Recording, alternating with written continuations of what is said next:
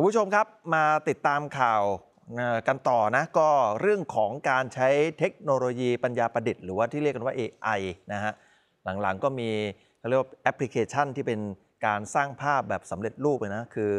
สามารถที่จะคีย์คำสั่งเข้าไปนะอยากได้ภาพแบบไหนอะไรยังไงเนี่ยนะเป็นคำสั่ง ไม่ว่าจะเป็นภาษาไทยก็มีภาษาอังกฤษก็มีเนี่ยนะฮะแล้วภาพมันก็จะประมวลผลออกมาเป็นภาพที่เราต้องการนะฮะ แต่ว่าล่าสุดเนี่ยเขาบอกว่าเนี่ยมันก็มีกรณีที่คนเนี่ยทำภาพที่มันดูแล้วไม่เหมาะสมนะครับนี่นะครับยกตัวอย่างเช่น ภาพพระพุทธรูป นุ่งบิกินี่วิ่งเล่นชายหาดอย่างนี้เป็นต้นเนี่ยนะฮะล่าสุดเนี่ยทางผู้อำนวยการสำนักเลขาธิการมหาเถรสมาคม ในฐานะที่เป็นโฆษกสำนักงานพระพุทธศาสนาแห่งชาตินะครับนายสุพัฒน์เมืองมัจฉา บอกว่าเนี่ยมีกรณีที่คนเนี่ยได้มีการใช้เทคโนโลยี AI นะฮะ มีการสร้างรูปพระสงฆ์เอ่ยพระพุทธรูปเอ่ยที่ไม่เหมาะสมนะครับ อย่างตัวอย่างที่เห็นอันนี้ก็พระพุทธรูปจับไมค์ร้องเพลงบนเวที พระสงฆ์เล่นกีตาร์พระพุทธรูป ถือปืนคือทำได้หมดอะคุณผู้ชมฮะแค่คีย์คำสั่งเข้าไปเนี่ยนะพระพุทธรูปอะร่างกายเป็นซูเปอร์แมนอย่างนี้เป็นต้นนะครับ หลากหลายนะฮะซึ่งเมื่อตรวจสอบแล้วเนี่ยนะครับ บอกว่าเนี่ย ตอนนี้ก็ให้ฝ่ายกฎหมายของทางสำนักพุทธเนี่ยตรวจสอบว่าเข้าข่ายเป็นความผิดฐานใด ถ้าเข้าข่ายมีความผิดก็จะดำเนินการตามกฎหมายกันต่อไปนะครับ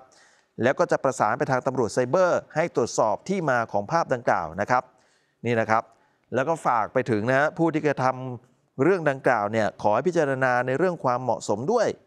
แม้ว่าบางคนจะมองว่าเนี่ยมันเป็นศิลปะนะฮะแต่ภาพที่ปรากฏมันก็กระทบจิตใจของชาวพุทธ ซึ่งก็มองว่าไม่สมควรเป็นอย่างยิ่งนี่นะครับ เรื่องนี้ทางพระว่ายังไงครับ ทาง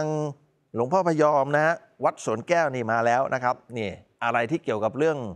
พระเรื่องพุทธศาสนานะฮะนี่ต้องให้ทางพระอาจารย์พยอมเนี่ยนะครับได้ออกมาพูด กรณีมีการทำภาพ AI กระทบจิตใจชาวพุทธ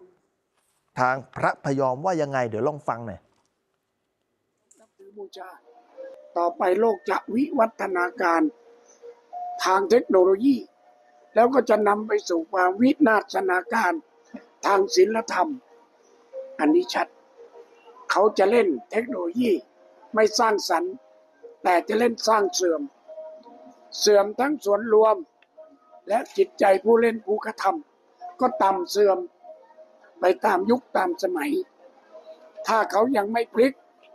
กับใช้เทคโนโลยี สร้างสรรค์ส่งเสริม ให้เป็นศิลปะงดงาม อันนี้มันศิลปะหรือเถอะศิลปะลามก ศิลปะต่อเติม เนื้องอก จากสิ่งที่เขาเคารพนับถือบูชาเออนะครับ นี่พระพระพยอมก็เนี่ยตำหนินะ เอาง่าย ๆ คือด่าไปเลยนะครับ บอกว่าเนี่ยให้ใช้สมองในทางสร้างสรรค์ เออ แต่เนี่ยมาใช้สมองในทางเสื่อมเสียเนี่ยคิดว่ามันจะเจริญไหมอะไรต่างๆนะครับ นี่นะฮะอะก็ไม่รู้ว่าคนที่ทำภาพเขาจะสะเทือนหรือเปล่าคำด่าจะเข้าหัวหรือเปล่าไม่รู้นะฮะพอเห็นมีเยอะเลยเดี๋ยวนี้ คือภาพพวกนี้ทำได้ง่ายมาก ภายในไม่ถึงหนึ่งนาทีเนี่ยเรียบร้อยเลยนะเออ